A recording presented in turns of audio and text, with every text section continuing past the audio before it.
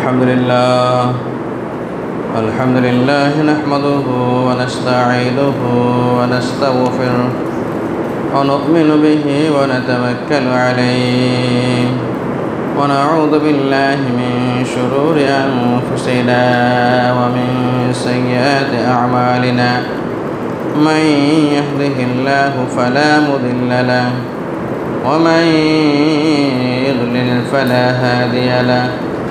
ونشهد أن لا إله إلا الله ونشهد أن محمدا عبده ورسوله.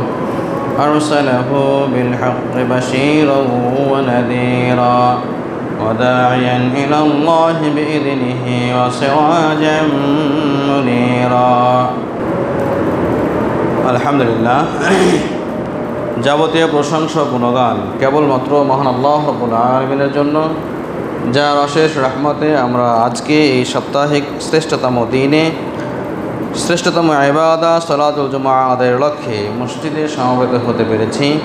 এজন্য জন্য সুক্রিয়া জ্ঞাপন করি, আলহামদুলিল্লাহ। দরুদ শান্তি বর্ষিত হোক, শেষ নবী মোহাম্মদুর রসুল্লাহ সাল্লাহ আলহি ওয়াসাল্লামের উপর। যার আদর্শের মাঝেই রয়েছে তাবৎ পৃথিবীর সুখ, শান্তি ও সমৃদ্ধিপূর্ণ জীবন যাপনের পরিপূর্ণ নিশ্চয়তা। তার উপর বর্ষিত হোক, দরুদ শান্তি। আল্লাহ মসল্লি আলাই আল্লাহ বারেক সম্মানিত মুসল্লিবৃন্দ, আজকে আমরা এমন একটি পরিস্থিতিতে দাঁড়িয়ে আছি, যেখানে গোটা বিশ্বে আজকে আমাদের দেশের পরিস্থিতিকে নিয়ে আলোচনা চলছে। এমন একটি সময়ে আমরা দাঁড়িয়ে আছি, যে সময়ে হয়তোবা কেউ কেউ ন্যায্য অধিকার আদায়ের জন্য রাজপথে খুদ পিপাসায় কাতরাচ্ছে। কেউ বা নিজেদের এই ন্যায্য অধিকারকে প্রতিষ্ঠিত করবার জন্য, ন্যায়ের পক্ষে দাঁড়াবার জন্য আজকে গুলিবিদ্ধ হয়ে হাসপাতালে নিজেকে মৃত্যুর সঙ্গে পাঞ্জা লড়ছে সেই এমন একটি অস্থিতিশীল পরিস্থিতিতে আমরা আজকে এই খুতবার বিষয় নির্ধারণ করেছি অন্যায় এবং তার প্রতিকার। এই অন্যায় ও প্রতিকার শিরোনামে আমরা আজকে কোরআন ও সন্না ভিত্তিক কিছু বলবার চেষ্টা পাবো ইনশাআল্লাহ। অমা তৌফিকি ইল্লা বিল্লাহ। অন্যায়ের আরবি প্রতিশব্দ জুলুম ব্যবহার হয়। অন্যায়ের আরবি প্রতিশব্দ একটি শব্দে যেটি প্রকাশ পায় তা হলো জুলুম। আর অন্যভাবে দুটি শব্দের সমন্বয়ে যেটি অর্থ হয় তা হলো বেগয় রেহাক ইত্যাদি। এইভাবে প্রকাশ করা যেতে পারে। কিন্তু এক কথায়, একটি শব্দে প্রকাশ পায় তা হলো জুলুম। এই জুলুমের যেমন আরবি ব্যবহার হয়, ঠিক অনুরূপভাবে বাংলাতেও এই জুলুম ব্যবহার হয়। জুলুমের সঙ্গে নির্যাতন কথাটা খুব বেশি মানানশীল আমাদের বাংলা ভাষায় বেশ কিছু শব্দের বহির্বিশ্বের অথবা অন্যান্য ভাষা থেকে বিদেশি ভাষা থেকে বিভিন্ন শব্দ ব্যবহার হয়েই আসছে। তন্মধ্যে আরবি এবং ফার্সির ব্যবহারটা অনেক বেশি বাংলা শব্দের সঙ্গে। যদিও আধুনিককালের কিছু বুদ্ধিজীবীগণ এই আরবি ব্যবহারকে অত্যন্ত বিষময় ফলের মতো তারা নিজেদেরকে মনে করে, যে আরবির ব্যবহার মানে ইসলামায়ন মনে হয়। আরবির ব্যবহার মানে জঙ্গিবাদের গন্ধ তারা পেয়ে থাকে। আরবি ব্যবহার মানেই এটিকে নিন্দনীয় একটি বিষয় বলে তারা মনে করে। কিন্তু তারপরেও বাংলার বাংলা ভাষার প্রতে প্রতে এবং যে ক্ষেত্রগুলোতে আরবির ব্যবহার হয়ে আসছে, আরবি এবং বাংলা এবং সেখানে আরবি, বাংলা হিসেবে ব্যবহারটাই অধিক সৌন্দর্য, অধিক সুন্দর ও শ্রুতিমধুর হিসেবে ব্যবহার হয়।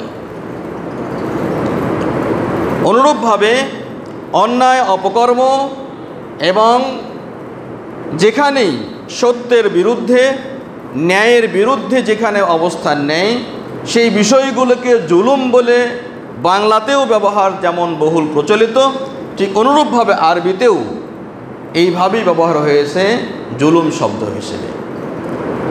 এর বাংলা প্রতিশব্দ অন্যায়, অত্যাচার, অবিচার আরও যতটা রয়েছে, সোজা কথা, ন্যায়ের পক্ষে, বিপক্ষে যতগুলো শব্দ রয়েছে, সবগুলোকেই এই জুলুমের অন্তর্ভুক্ত করা যেতে পারে। জুলুম এর অভিধানগতভাবে একটি নির্দিষ্ট আরবি শব্দ অর্থ রয়েছে। জুলুমের আরবি অর্থ হলো গাইরে মাহাল্লি তথা অনুপযুক্ত জায়গায় যোগ্য বিষয়কে রাখা। যেটা যার উপযুক্ত নয়, যেখানে ন্যায় হবার কথা, যেখানে সত্য বলবার কথা, সেখানে অসত্যের যে প্রকাশ, যেখানে ন্যায় হবার কথা, সেখানে অন্যায় হবার, যেখানে যেটা হবার কথা সঠিকভাবে হবার কথা, সেখানে ব্যাঠিক বিষয়কে প্রযোজ্য করা, এটি হলো জুলুম।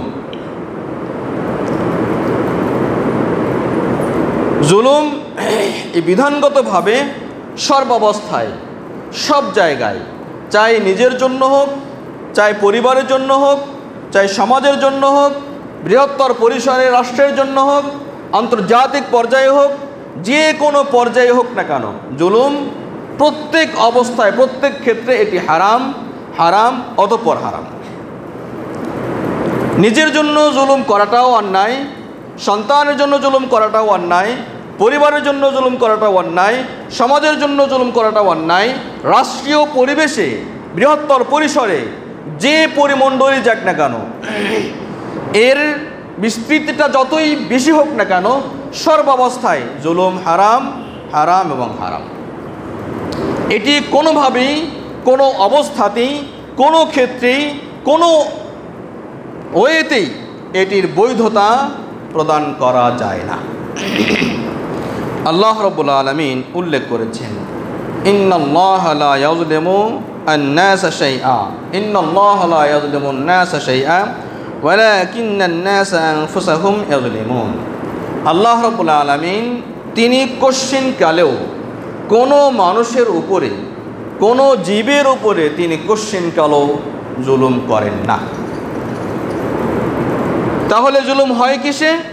আল্লাহ বলছেন কিন্তু মানুষেরা তারা নিজেরাই নিজেদেরকে জুলুম করে। মানুষেরা তারা নিজেরাই নিজেদেরকে জুলুম করে। মানুষের যেটা করবার কথা, সেটি না করে, যেটি বলার কথা, সেটি না বলে, যে ন্যায়টা করবার কথা, সেটি না করে নিজেরা নিজেদের উপরে যেমন জুলুম করে তেমনি অন্যের উপরে জুলুম করে, তেমনি মানুষের উপরে জুলুম করে, তেমনি বৃহত্তর পরিসরে যতটা বিস্তৃত হোক না কেন, সকলের উপরেই তারা জুলুম করে। যার ফলশ্রুতিতে পৃথিবীতে মানুষের মধ্যে অন্যায়, অবিচার, অত্যাচার এবং যত প্রকার বিশৃঙ্খলা রয়েছে, সমস্ত বিশৃঙ্খলার বহিঃপ্রকাশ ঘটেছে। আল্লাহ রবুল আলমিন এই কথায় বলেছেন ظهر الفساد في البر والبحر بما كسبت أيدي الناس ليذيقهم بعض الذي عملوا لعلهم يرجعون জলে স্থলে গোটা পৃথিবীতে চাই সেটি জলে হোক অথবা চাই সেটি স্থলে হোক পৃথিবীর যে কোনো পরিমণ্ডলে যে বিপর্যয় সৃষ্টি হয়েছে যে বিশৃঙ্খলা সৃষ্টি হয়েছে যে অনাচার সৃষ্টি হয়েছে যে অত্যাচার সৃষ্টি হয়েছে যে অবিচার সৃষ্টি হয়েছে, সমস্ত কিছুর পিছনে মানুষের কৃতকর্ম। মানুষের কর্ম এর মধ্যে কাজ করে। মানুষের কর্ম ব্যতীত মহান আল্লাহ রবুল আলমিন তিনি নিজে কারোর ওপর তিনি জুলুম করেন না। তিনি যেমন নিজের জন্য জুলুমকে হারাম করেছেন, ঠিক অনুরূপভাবে মানুষের উপরেও তিনি জুলুমকে হারাম করেছেন। তাই তো দেখা যায়, পৃথিবীতে সবচেয়ে বড় খোদাদ্রোহী হওয়ার পরেও, পৃথিবীতে সবচেয়ে বড় জালেম হওয়ার পরেও পৃথিবীতে সবচেয়ে নিজেকে ন্যাক্কারজনক সবচেয়ে অত্যাচারী শাসক হিসেবে ঘোষিত হবার পরেও আল্লাহ রবুল্লা আলমিন তাকে দুনিয়ার খাদ্য, দুনিয়ার যাবতীয় তাবৎ নিয়ামত তাকে দিয়েছেন। আল্লাহ রবুল্লা আলমিন পৃথিবীতে কারও উপর জুলুম করবেন না, করেন না। যার ফলশ্রুতিতে যত বড় অন্যায়, অত্যাচারী হোক না কেন, আল্লাহ রবুল্লা আলমিন তাকে পৃথিবীতে যথেষ্ট খাবার দেন, বরং তাদেরকে আরও বেশি দেন। তার কারণ তাদের পরকাল আর কিছুই থাকবে না। তাহলে জুলুম সর্বাবস্থায় হারাম এবং হারাম। রাসুল সাল্লাহ আলহি ওয়াসাল্লাম বর্ণনা করেছেন। মহান আল্লাহ রবুল আলম বলেন আলা হে আমার বান্দাগণ, আমি আমার নিজের উপরে জুলুমকে হারাম করেছি। ওয়া জাআলতু বাইনাকুম মুহাররামা। শুধু তাই নয়, তোমাদের জন্য এই জুলুমকে আমি হারাম করেছি। ফালা তাদালামু সুতরাং তোমরা একে অপরের প্রতি জুলুম, অবিচার করো না। অবিচার করো না, তোমরা একে অপরের প্রতি অবিচার করবে না। হাদিসটি সহি মুসলিম, দুই হাজার পাঁচশো সাতাত্তর নম্বর হাদিস। অনুরূপভাবে রাসুল সাল্লাহ আলহি ওয়াসাল্লাম আরও বলেছেন ইত্তাকুল ফাইন্নাদুল নদুল মেতুনিয়ামাল হে আমার উম্মাদ তোমরা জেনে রাখো, তোমরা সাবধান থাকো, তোমরা বেঁচে থাকো অন্যায় থেকে, জুলুম থেকে। কেননা জুলুম পরকালে কিয়ামতের দিনে অন্ধকার হিসেবে আসবে। অন্ধকার হিসেবে আসবে যে অন্ধকারকে পরিস্ফুটিত করবার জন্য তোমাদের ভালো আমলের দরকার আছে পৃথিবীতে। তাহলে রাসুল সাল্লাহ আলী আসাল্লাম বিভিন্নভাবেই এই বিষয়গুলোকে উল্লেখ করেছেন। জুলুম অত্যন্ত ন্যাক্কারজনক একটি অধ্যায়। জুলুমের প্রকার রয়েছে। রাসুল সাল্লাহ আলী আসাল্লামের ভাষায় জুলুমের প্রকারটা আমরা উল্লেখ করলে এইরকমভাবে উল্লেখ করা যায়। রসুলাম বলেছেন জুলমু সালায়াতুন জুলুম হলো তিন ভাগে বিভক্ত। জুলুম হলো তিন ভাগে বিভক্ত। এক প্রকার জুলুম রয়েছে যে জুলুমগুলোকে আল্লাহ রবুল্লা আলমিন ক্ষমা করেন না। অজুলমুন দ্বিতীয় নাম্বার জুলম হলো ফিরুহু তিনি ক্ষমা করেন। আর অজুলমুন লায়াতরুকুহু তৃতীয় নাম্বার যে জুলুমটি, সেই জুলুমকে আল্লাহ রবুল্লা আলমিন ছেড়ে দেন না। নাম্বার ওয়ান, যে জুলুম আল্লাহ ক্ষমা করেন না। নাম্বার টু, যে জুলুম আল্লাহ রবুল আলমিন ক্ষমা করেন। এবং নাম্বার থ্রি, যে জুলুমকে আল্লাহ রবুল আলমিন ছেড়ে দেন না। ব্যাখ্যায় আল্লাহ বলছেন ফায়াম্মাদুলমুল্লাহ আল্লাহ রবুল আলমিন যে জুলুমকে ক্ষমা করেন না, সেই জুলুম হলো আর শির্ক তা হলো শির। আল্লাহ রবুল আলমিনের সঙ্গে অন্য কাউকে তার সমকক্ষ মনে করা, ডাকা, এটি ন্যাক্কারজনক একটি জুলুম, অত্যন্ত ঘৃণিত একটি অপরাধ এবং জুলুম। এই জুলুমকে আল্লাহ রবুল আলমিন ক্ষমা করেন না, যতক্ষণ না সে নিখাত চিত্তের সাথে ফিরে না এসেছে। আর ফিরুহুল্লাহ আর যে জুলুমকে আল্লাহ রবুল আলমিন ক্ষমা করেন সেই জুলুমটা হলো ফিমা বাইনা সেটা এমন একটি জুলুম, যে জুলুম বান্দা নিজের উপরে করে, যার সম্পর্ক তার মাঝে এবং রবের মাঝে। সলাৎ আদায় করা আল্লাহ রবুল্লা আলমিনের একটি নির্দেশ। কোনো বান্দা যদি এটি সলাৎ আদায় না করে তাহলে সেটি জুলুম। আল্লাহ রবুল্লা আলমিন ঘুষ, সুদ খেতে নিষেধ করেছেন। কোনো বান্দা যদি সেই নিষিদ্ধ কাজকে করে, এটি হলো জুলুম। সুতরাং এই জুলুমকে আল্লাহ রবুল্লা আলমিন, সে যদি তৌবা করে, আল্লাহ রবুল্লা আলমিন ক্ষমা করে দেন। যে অপরাধের সঙ্গে, যে জুলুমের সঙ্গে আল্লাহ রবুল্লা আলমিনের একটু সম্পর্ক রয়েছে, কিন্তু শির্কের পর্যায় নয়। এই অপরাধগুলোকে আল্লাহ রবুল্লা আলমিন, তিনি ক্ষমা করবেন। আর কি? তৃতীয় নম্বর হলো ফাজুলমুল এবাদ আর আল্লাহ রবুল্লা আলমিন যে জুলুমকে ছেড়ে দেন না, এই জুলুমটি হলো বা তারা একে অপরকে যে জুলুম করে, একে অপরের উপরে যে জুলুম করে, এই জুলুমকে আল্লাহ রবুল্লা আলমিন ছেড়ে দেন না। হাত্তা ইয়াদিন আলী বা আদিহিমাদ আল্লাহ আলমিনের এখানে চিরাচরিত নিয়ম হলো, এই জুলুমগুলোকে আল্লাহ আলমিন একে অপরকে দিয়ে এর প্রতিদান দিয়ে দেন। কেউ যদি অন্যায়ভাবে অন্য কাউকে হত্যা করে, হয়তোবা অন্য কেউ ঘাতক তাকে হত্যা করবে। কেউ যদি আমার অধিকারকে হরণ করে, আমি না পারলেও অন্য অন্য এসে আমার অধিকার যে হরণ করেছে, তার অধিকারকে হরণ করবে। এটি পৃথিবীতে প্রচলিত নিয়ম। যে অন্যের উপর জুলুম করবে, সে এক সময় অত্যাচারী থাকবে বটে, কিন্তু সব সময় সে অত্যাচারী থাকবে না। কোনো না কোনো সময় সে অত্যাচারিত হবেই হবে। এটি দুনিয়ার নীতি। এটি দুনিয়ার নীতি। রাসুল ইসলাম সেটি বলছেন, এটিকে আল্লাহ রবুল আলমিন ছেড়ে দেন না। হাদিসটি রয়েছে হাদিস সহিহা, উনিশশো সাতাশ নম্বর হাদিস। তাহলে আজকের আলোচনা আমরা যেটা করব, তা হলো এই তৃতীয় প্রকারের নিয়ে। যেটি মানুষ একজন মানুষ হয়ে অন্য মানুষের উপরে অন্যায় করে, জুলুম করে। সময়টা আমাদের সে ওরূপ এইরকমই। যার ফলশ্রুতিতে আমরা আজকের এই খুদ্বাতে একে একজন মানুষ অপরজনের উপরে জুলুম করলে তার বিধিবিধান কি হতে পারে? এই জুলুমের বিভিন্ন ধরন রয়েছে। যেমনটি আমরা আমাদের সন্তানদের অধিকারকে হরণ করে এটি একটি জুলুম। আমি একজন মানুষে অপরজনের উপরে অত্যাচার করা, তার হককে সঠিকভাবে আদায় না করা সন্তান হয়ে পিতার উপরে জুলুম করা, অবিচার করা, অন্যায় করা, তার ভরণ পোষণ না দিয়ে বিভিন্নভাবে তাকে কষ্ট দেওয়া, এটি এক প্রকার জুলুম। এটিও হতে পারে অন্যের সম্পদকে হরণ করা, নিজের মনে করে তাকে তার কাছ থেকে ডাকাতি করে অথবা যে কোনোভাবে জোর জবস্তি করে তার কাছ থেকে নিয়ে নেওয়া, এটিও এক প্রকার জুলুম। এছাড়াও এতিমদের সম্পদ হরণ করা এগুলো জুলুমের মধ্য থেকে সবচেয়ে গুরুত্বপূর্ণ যে জুলুম আজকের আমি আলোকপাত করব, তা হলো অতলুল নফস বেগয়ের হক, অন্যায়ভাবে অন্যকে হত্যা করা। অন্যকে অন্যায়ভাবে হত্যা করা, এই দিকে আমরা খেয়াল রাখব। এই বিষয়টি আলোকপাত করবার পূর্বে আমরা যে বিষয়টা আলোকপাত করব তা হলো, মুসলিম হিসেবে আমাদের স্বাভাবিক গুণ থাকা কি দরকার? যে গুণ অনুপাত রসলাম বর্ণনা করেছেন। আল্লাহ সাল আলী ওয়াসাল্লাম আল মুসলিম আখুল মুসলিম। আল মুসলিম আখুল মুসলিম। এক মুসলিম অপর মুসলিমের ভাই। এক মুসলিম অপর মুসলিমের ভাই।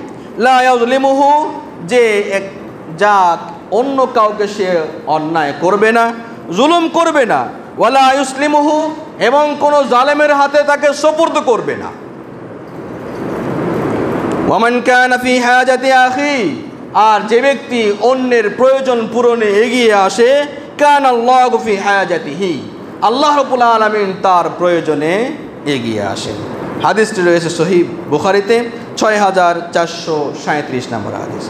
আল্লাহ রবুল আলমিন অন্য একটি আয়াতে এইভাবে উল্লেখ করছেন, ওয়াইন ইস্তম কুমফিদ্দিন ফালে কুমন্নস ইল্লা আলা কমিম বাইনাকুম বাইনাকুম মিতা অল্লাহবিমা আল্লাহ আলমিন মানব জাতির উপরে যারা সহযোগিতা চায়, যারা সাহায্য চায়, তাদের সাহায্যে এগিয়ে আসাকে ইমানের দায়িত্ব হিসেবে উল্লেখ করেছেন। আল্লাহ রবুল আলম বলছেন, ওয়াইন ইসলাম সরকুম ফিদ্দিন, যদি তারা দিনের ব্যাপারে তারা তোমাদের কাছ থেকে সহযোগিতা চায়, তাহলে ফায়ালাইকুমন্যাস তোমাদের উপরে আবশ্যক হলো তাদেরকে সহযোগিতা করা। তাদেরকে সাহায্য করা তোমাদের জন্য আবশ্যক।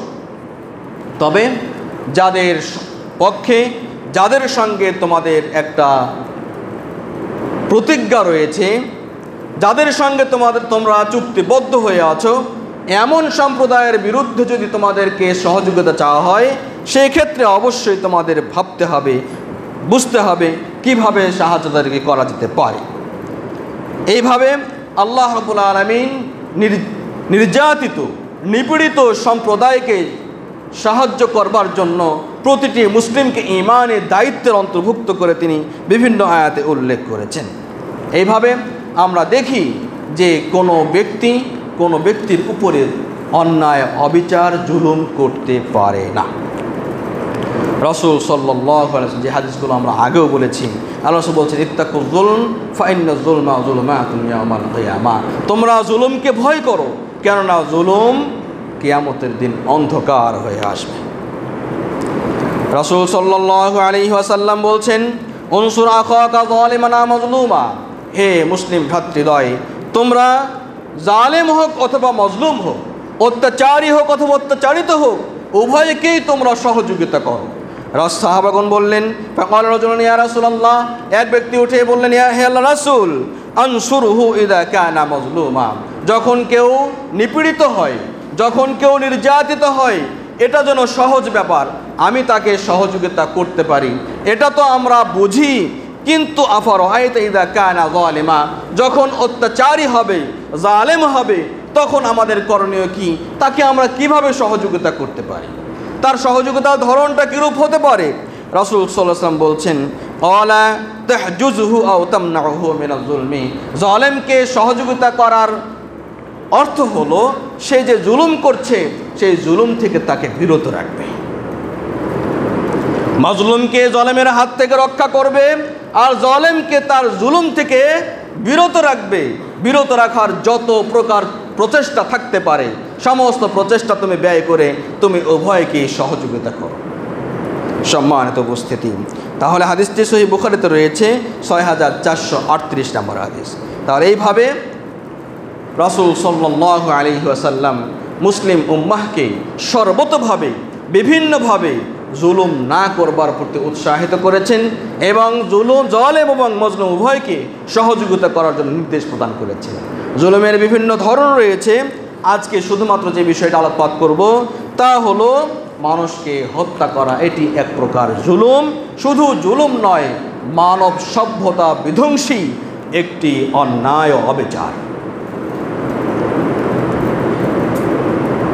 এক মুসলিম হয়ে অপর মুসলিমের প্রতি, এক মুসলিম হয়ে অপর মুসলিমের প্রতি অস্ত্র উঁচিয়ে অথবা যে অস্ত্র দ্বারা, যে হাতিয়ার দ্বারা অন্য ক্ষতিগ্রস্ত হতে পারে, হত্যা করা যেতে পারে এমন কোনো হাতিয়ার কোনো মুসলিমের দিকে টার্গেট করাটাও নিষিদ্ধ। হাদিসে হারাম ঘোষণা করা হয়েছে।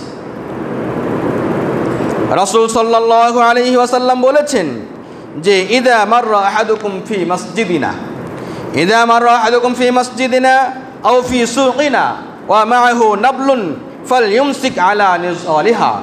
রাসুল বলছেন যে, যদি তোমাদের কেউ আমাদের মসজিদ অথবা বাজারের নিকট দিয়ে অতিক্রম করে তার কাছে যদি তীর বল্লম থাকে, তাহলে সেই তীর বল্লমের যে অগ্রভাগ, যে ধারালো অংশটুকু, সেটা তোমরা ভালোভাবে মুড়ে নিও, ভালোভাবে ধারণ করো, যাতে করে অন্য মুসলিমের শরীরে কোনোভাবে আঘাত না লাগে। মিনাল মুসলিমিন আমিন হাসাইয়া যাতে করে উক্ত ধারালো অংশ দিয়ে, উক্ত ধারালো হাতিয়ার দিয়ে, উক্ত অস্ত্র দিয়ে তার প্রতি কোনো প্রকার আঘাত না লাগে। হাদিসটি বুখারিতে সাত হাজার পঁচাত্তর নম্বর হাদিস। অন্য একটা সারাস বলছেন লায়ুশিরু আহাদুকুম লায়ুশিরু আহাদুকুম আলা আখিহি বিসলাহি। কোনো ব্যক্তি, কোনো মুসলিম, অন্য কোনো মুসলিমকে কোনো হাতিয়ার দ্বারা, কোনো অস্ত্র দ্বারা ইঙ্গিত করবে না। ফাইন্নাহু লা ইয়াদরি, কেননা সে জানে না লাল্লা ইয়াদিহি হতে পারে শয়তান দ্রুত তার হাত থেকে খসে নিয়ে টেনে নিয়ে সেই অস্ত্র অন্য ভাইকে লেগে দিতে পারে। ফয়াকাউফি হফরাতিম মিনান নার। এইরকম অ্যাক্সিডেন্ট বশত, অসাবধানতা বশত যদি এটি হয়েও থাকে, তাহলে শয়তানের মাধ্যমেও যদি হয়, এর মাধ্যমে সে জান্নাতের জাহান নামের গর্তে পড়ে যাবে। সম্মানিত উপস্থিতি, একটি অস্ত্র, ধারালো অস্ত্র দিয়ে কোনো মুসলিম কোনো মুসলিমের দিকে ইঙ্গিত করতে রাসুসলাম নিষিদ্ধ ঘোষণা করেছেন। তাহলে একটু ভাববার বিষয়। রসলাম আল্লাহ আরও বলেছেন, মান আশারাইলাহি যদি কোনো ব্যক্তি ধারালো অস্ত্র দিয়ে অন্য কারও প্রতি ইঙ্গিত করে ফাইনাল মেলাইকা তাতাল ফেরেস্তা মণ্ডলী তাদের উপরে অভিশাপ করে। যখন থেকে কোনো মুসলিম, কোনো ব্যক্তি, কোনো অন্য কোনো ব্যক্তির প্রতি অস্ত্র উঁচিয়ে কথা বলবে ইঙ্গিত করে কথা বলবে, তখন থেকেই ফেরেস্তা মণ্ডলী তাদের বিরুদ্ধে অভিশাপ করে অভিসম্পদ করে।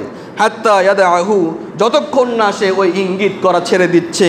ওয়াইন ক্যানা খহুল আবিহি অম্মিহি যদিও সে তার সহদর ভাই হয়। সহদর শত্রু তো দূরের কথা, প্রতিবেশী তো দূরের কথা, অন্য কেউ তো দূরের কথা কারোর দিকে নিজের সহদর ভাইয়ের প্রতিও সহদরের প্রতিও যদি কেউ অস্ত্র উঁচিয়ে কথা বলে, সেই সময় থেকে ফেরেস্তা মন্ডলে তার বিরুদ্ধে অভিশাপ করতে থাকে। বিষয়টি অত্যন্ত জটিল। সেখানে আজকের কালচার আজকের কালচার কোথায়? কোথায় না কীভাবে কার সঙ্গে কথা কাটাকাটি হয়েছে? রাত্রির আধারে এসে তাকে অস্ত্র তো উচ্চানো উচ্চ হচ্ছেই। উপরন্তু গলা কেটে উপর্যুপরি তাকে আঘাত করে হত্যা করবার মতো ন্যাক্কারজনক ঘটনাও আজকে অহরহ ঘটছে। সম্মানিত উপস্থিতি, আল্লাহ রবুল্লা আলম আমাদেরকে রক্ষা করুন, আমিন। তাহলে মুসলিমদের মাঝে যে যাতে হত্যাকাণ্ড না ঘটে, একে অপরকে যাতে ভাই, অন্য ভাইয়ের প্রতি অস্ত্র উঁচিয়ে কথা বলতে না পারে এবং এক ভাই দ্বারা অন্য ভাই যাতে আঘাতপ্রাপ্ত না হয়, এই দিকে সর্বতভাবে সর্বোচ্চ প্রচেষ্টা ইসলাম করেছে। যার ফলশ্রুতিতে রাসূল সাল্লাল্লাহু আলাইহি ওয়াসাল্লাম আরও বলেছেন, ইজা শারাল মুসলিম আলা আখিহিল মুসলিম যখন কোনো মুসলিম অন্য কোনো মুসলিম ভাইকে অস্ত্র উঁচিয়ে কথা বলবে ইঙ্গিত করবে, ফাহুমা আলা জুরফি জাহান্নাম, তখন থেকেই তারা জাহান্নামের কিনারায় অবস্থান করবে। ফাইদা কতালাহু, যখন একে অপরকে হত্যা করবে, অস্ত্র উঁচিয়ে হত্যা করবে, খর্রা জামিয়ান ফিহা, তখন উভয়ই তারা জাহান নামে নিপতিত হয়ে যাবে। হাদিসটি সুনানান নাসাই চার হাজার একশো ষোলো নম্বর হাদিস। তাহলে এক মুসলিম, অপর মুসলিমকে হত্যা তো দূরের কথা। হত্যা তো আরও বহু বড় অপরাধ। বরং নিজের কাছে অস্ত্র আছে। এই অস্ত্র উঁচিয়েও কারও বিরুদ্ধে কারও পক- বিপক্ষে কথা বলতে পারে না। অস্ত্র উঁচিয়ে কথা বলতে পারে না। কোনো মুমিন হৃদয়ে যদি আল্লাহ সঞ্চারিত হয়, এ ব্যক্তি কশ্চিন কালেও নয়, কশ্চিন কালেও নয়। তার জীবন চলে যাবে। সে কশ্চিন কালেও অন্য ভাইয়ের বিরুদ্ধে অস্ত্র ধারণ করতে পারে না। এবার আসি আল কতল বেগয়ের হক। তাহলে অন্যায়ভাবে অন্যকে হত্যা করা কতটুকু অপরাধ? আজকের কালচারে আজকের কালচারে মানুষকে, মানুষ এটি যে একটা প্রাণ, এটি যে একটি অত্যন্ত মূল্যবান একটি প্রাণ, এই মূল্যবোধটুকু আমাদের মাছ থেকে হারিয়ে যাচ্ছে। কি ধর্মের নামে, কি বিধর্মের নামে, সংস্কৃতির নামে এবং জাতীয়তাবাদের নামে, দলের নামে, পার্টির নামে, বিভিন্ন ইস্যুতে আজকে প্রধান এবং অন্যতম নিয়ামক যে যত বিভক্ত করতে পারবে, যে যত অন্যকে গুম করতে পারবে, যে যত অন্যকে খুন করতে পারবে যে পার্টি যে অন্য প্রতিপক্ষকে যতটা ঘায়েল করতে পারবে, সে তত দামি, সে তত সেলিব্রিটি সে তত বড় ত্যাগী নেতা। সম্মানিত উপস্থিতি, মুসলিম, আমরা মুসলিম। সুতরাং মুসলিম হিসেবে কীভাবে আমরা অন্যের বিরুদ্ধে অস্ত্র উঁচিয়ে কথা বলি? আজকের যে পরিবেশ, আজকের যে পরিস্থিতি, মনে হচ্ছে যেন গোটা বাংলাদেশের বিরুদ্ধে গোটা বিশ্ববাসী যুদ্ধে লিপ্ত হয়েছে। সেই যুদ্ধের জন্য গোটা ফোর্সকে এমনভাবে সাজানো হচ্ছে, আমাদের ভাই, আমাদের সন্তান, আমাদেরই কেউ আমাদের প্রতিবেশী, তারা ন্যায্য অধিকারকে নিয়ে আজকে রাজপথে নেমেছে, তাদের বিরুদ্ধে তারা তো আমাদের শত্রু নয়।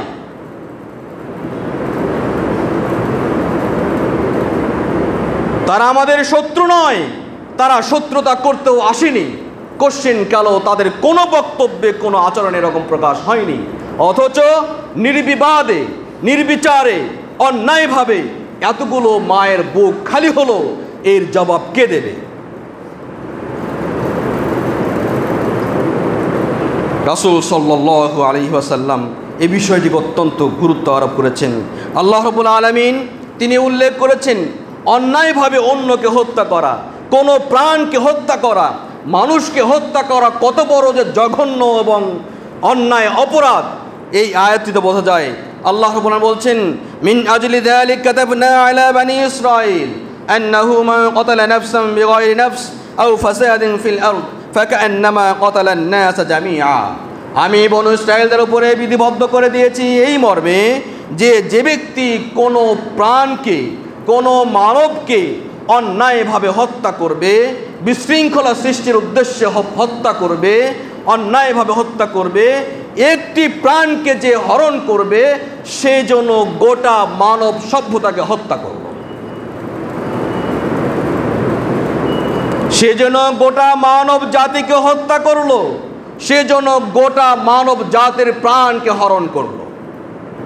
অমান্য হাইয়াহা যে ব্যক্তি পক্ষান্তরে যে কোনো কৌশলে কাউকে জীবন দান করল, হত্যার হাত থেকে বাঁচালো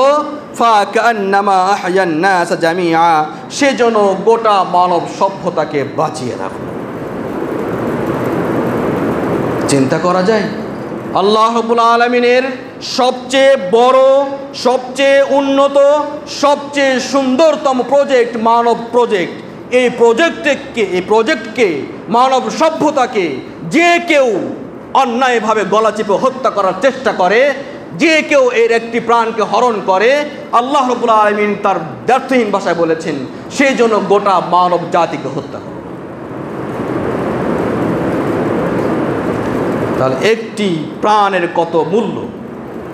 গোটা মানব সভ্যতার প্রাণকে একত্রে এক পাল্লায় রাখলে যে মূল্য হবে? একটি প্রাণকে এক পাল্লায় রাখলে সেই মূল্য। আজকে আমরা কোন সংস্কৃতিতে লালিত হচ্ছি? আজকে আমরা কীভাবে লালিত হচ্ছি? অন্যের প্রাণ হরণ করা আজকে আমাদের একটি পাখিকে শিকারের চাইতেও ন্যূনতম মনে হয়। অত্যন্ত ন্যূনতম মনে হয়। অন্য একটি হাদিসে, অন্য একটি আয়াতে আল্লাহ রবুল আলম বলছেন মুমিনা মুতাআম্মিদা ফাজাসাউহু জাহান্নাম খালিদান ফিহা ওয়া গাদিবাল্লাহু আলাইহি ওয়া লা'নাহু ওয়া আ'আদ্দা লাহু আযাবান আযীমা যে ব্যক্তি কোনো মুমিনের হৃদয়কে, মুমিনের প্রাণকে ইচ্ছাকৃতভাবে হত্যা করবে, ফাজাসাউহু জাহান্নাম, তার প্রতিদান হলো জাহান্নাম, খালিদান ফিহা, তারা সেখানে স্থায়ীভাবে বসবাস করবে। অগদিবাল্লাহু আলাই আল্লাহ রবুল আলমিনের ক্রোধ তার উপরে আপতিত হবে।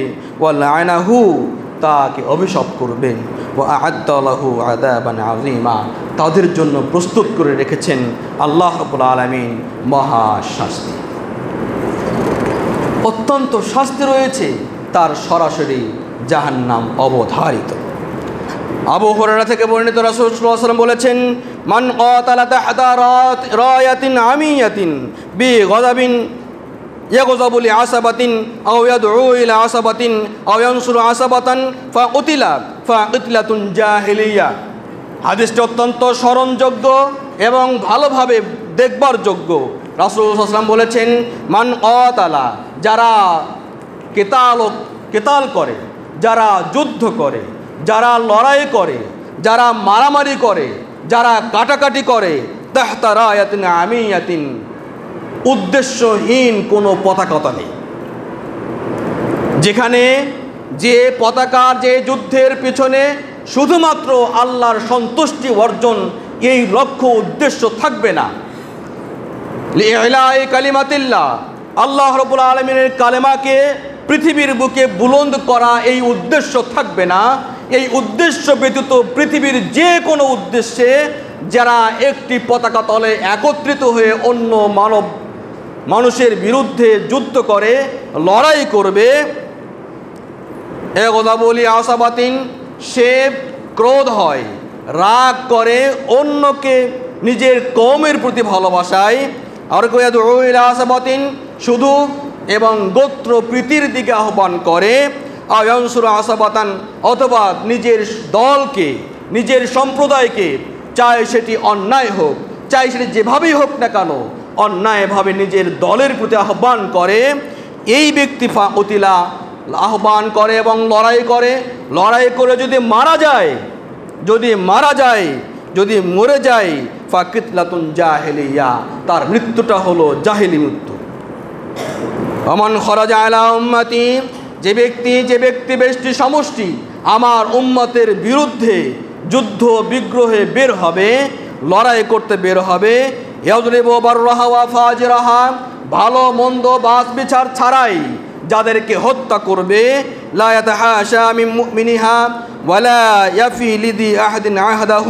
এবং সে মুমিনকেও বাস বিচার করবে না। ওয়ালা ইয়াফিলিদি আহাদিন আহাদাহু, যাদের সঙ্গে প্রতিজ্ঞাবদ্ধ ছিল তাদেরও প্রতিশ্রুতি দ্বারা রক্ষা করবে না। ফালাই সামিন্নি ওয়ালাস্তুমিন হু তোমরা জেনে রাখো, সে যেমন আমার দলভুক্ত না উম্মতভুক্ত নয়, আমিও তার অন্তর্ভুক্ত নই। সুতরাং আজকের যুগে, আজকের সময়ে যারা যে পার্টির নামে, যারা যে দলের নামে দলের পক্ষ হয়ে লড়াকু সৈনিক হিসেবে নিজেকে জাহির করবার চেষ্টা করে, অন্য দলকে পদদলিত করে, মথিত করে, নিহত করবার মতো, হত্যা করবার মতো জঘন্য অপরাধে লিপ্ত রয়েছেন। তাদের জন্য হাদিসটি অত্যন্ত গুরুত্বপূর্ণ। সহি মুসলিম আঠারোশো আটচল্লিশ নম্বর হাদিস। রাসুসলাম আরও বলেছেন আবু হুরা, আবু সাইদ এবং আবু হুরায়রা রাদি আল্লাহ আনহুমা, তারা উভয়ই বর্ণনা করছেন। রাসুসলাম বলেছেন, লাউ আন্না আহলা সামাই ওয়াল আরদ ইশতারাকু ফি দামিম মুমিনিন লাকাব্বাহুমুল্লাহু ফিন্নার। যদি আসমান এবং জমিনবাসী, যদি আসমান এবং জমিনবাসী সকলেই একত্র হয়ে একটি মুমিনের হৃদয়কে হরণ করবার জন্য একমত হয় কোন মুমিনের প্রাণকে হরণ করবার জন্য একমত হয় তাহলে রাসুসাম বলছেন ফিন্নার। উক্ত মুমিনের প্রাণকে হরণ করবার অপরাধে আসমান এবং জমিনের যত কিছু রয়েছে সবাই যদি একমত হয় এই একমত জনগোষ্ঠীকে আল্লাহ রবুল আলমিন একটি মুমিনের প্রাণকে হরণ করবার অপরাধে তাদেরকে জাহান নামে ঢুকিয়ে দেবেন।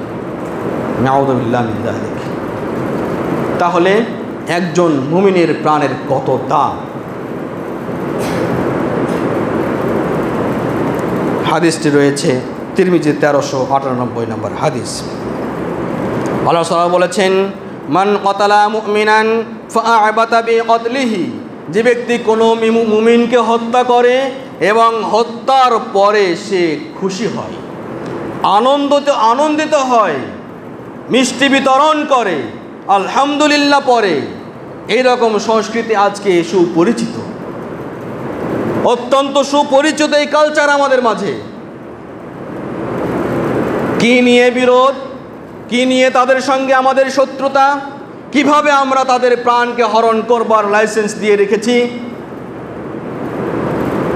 অনুমতি দিয়ে রেখেছি, একটিকে একটি কল্লা ফেলে দিলে তাকে ডাবল প্রমোশন দিয়ে বিভিন্নভাবে উঁচিয়ে ধরা হয়।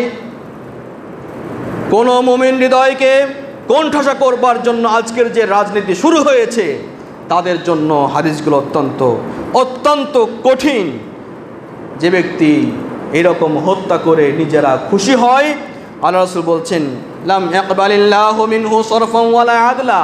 আল্লাহ রব্বুল আলমিন তার কোনো ফরজ এবাদাত তার কোনো নফল এবাদাত কবুল করেন না। শোনা যায়, গভীর রাত্রিতে কোরআন তেলাওয়াত করেন। বহু এবাদতের তিনি যোগ্য। যিনিই হন না কেন, যেভাবেই হন না কেন, যত এবাদত করা হবে না কেন, যত দান খয়রাত করা হোক না কেন, কোনো এবাদত, কোনো আদালত, কোনো সলাদ ও সিয়াম তাদের কবুল হবে না। কবুল হবে না। রসলাম এভাবে বলেছেন, আবু দাউদ চার হাজার দুইশো সত্তর নম্বর হাদিস। সুতরাং কেয়ামতের মাঠে রাসুল সাল্লাহ আলী হাসলাম বলছেন, অত্যন্ত ভয়াবহ হাদিসটি। আল্লাহ বলছেন ইয়াজি ওর রজল ও আখেদান বিয়াদির রজল, কেয়ামতের দিন এক ব্যক্তি আর এক ব্যক্তির হাত ধরে টেনে নিয়ে আসবে। ফায়াকুল বলবে প্রতিপালক, এই ব্যক্তি আমাকে হত্যা করেছে। আল্লাহ রবুল আলমিন হত্যাকারীকে জিজ্ঞেস করবেন, লেমা কতালতা? তুমি কেন তাকে হত্যা করেছ?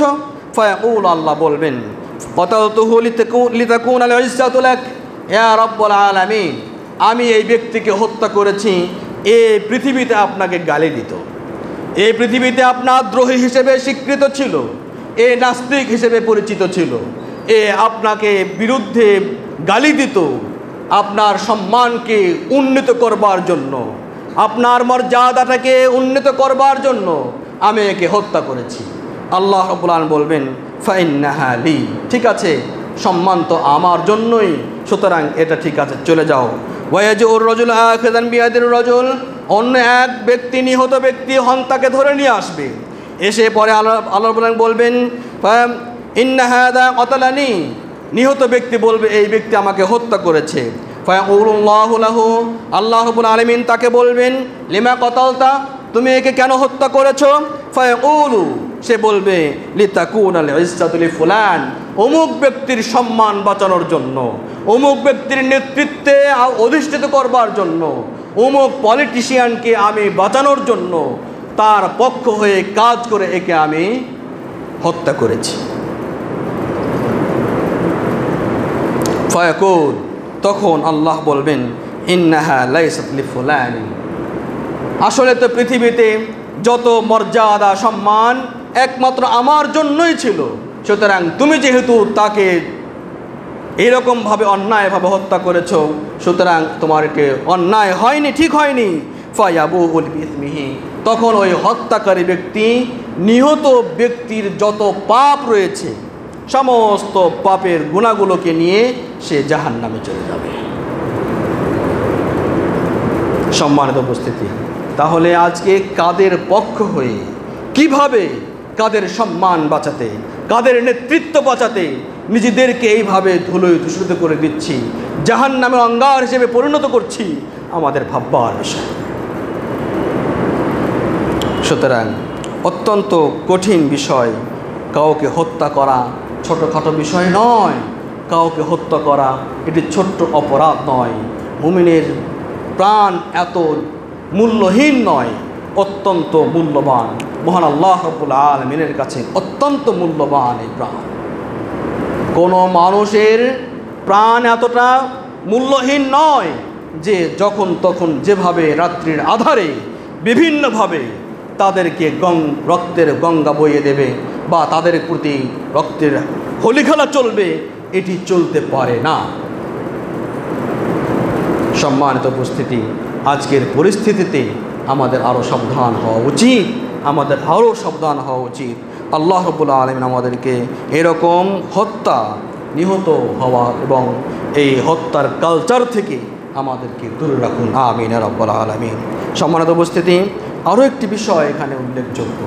জালেমদেরকে সহযোগিতা করবা, করা এটিও এক প্রকার অন্যায়। এটিও এক প্রকার অন্যায়। রাসুল সাল্লাম বলছেন অমান আনা আলা হসু মাতিন বি দুলমিন ফকত আজাল যে ব্যক্তি যে ব্যক্তি ব্যক্তি সমষ্টি অন্যায় লড়াইয়ের প্রতি সমর্থন জানায়, সহযোগিতা করে, সে ফকত বা আবে গজাবে মিনাল্লাহ আজাল্লাহ সে আল্লাহ রবুল আলমিনের ক্রোধ নিয়ে, আল্লাহ রবুল আলমিনের রাগ নিয়ে সে প্রত্যাবর্তন করল। হাদিসটি রয়েছে নাবুদাউদ তিন হাজার একশো তেইশ নম্বর হাদিস।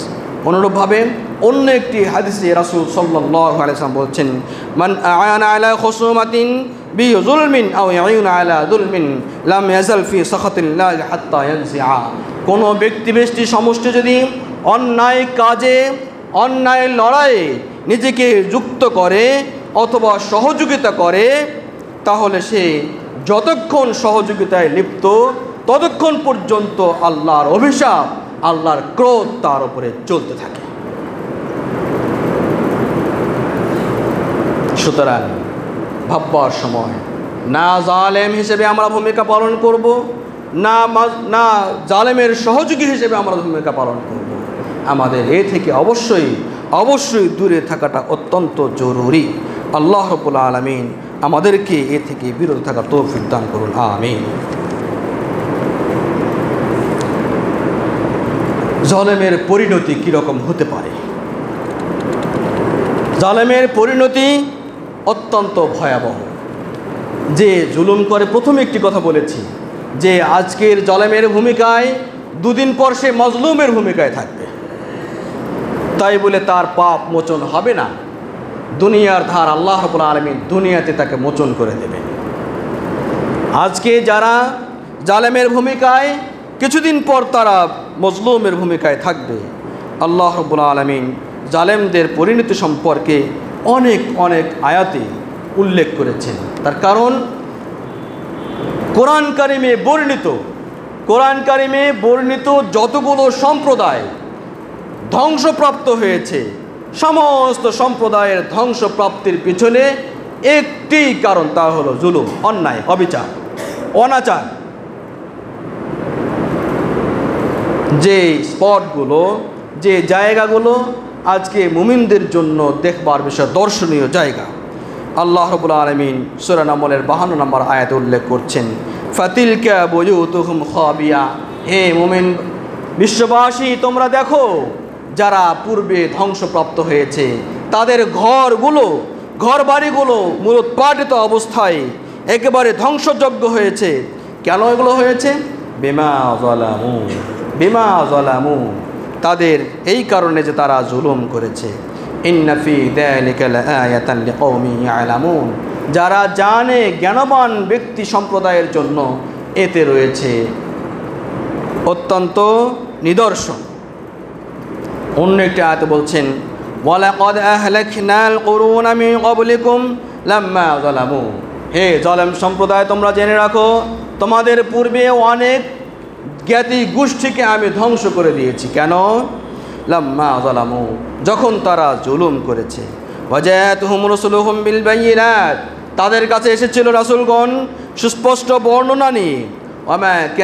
লিউমিনু তারা তো ইমান আনেনি কাদালিকা নাজিসিল কওমুল মুজরিমিন এইভাবেই আমরা অপরাধী সম্প্রদায়কে প্রতিদান দিয়ে থাকি। এইভাবে আল্লাহ রবুল আলমিন অনেকগুলো আয়াতে জালেমদের বর্ণনা এখানে দিয়ে দিয়েছেন বিভিন্নভাবে। কেয়ামতের মাঠে আবু হরাই রাদি আল্লাহ তালা আনহু এরকম একটি হাদিস বর্ণনা করেছেন। কেয়ামতের মাঠে জালেমদের পরিণতিটা কেমন হবে?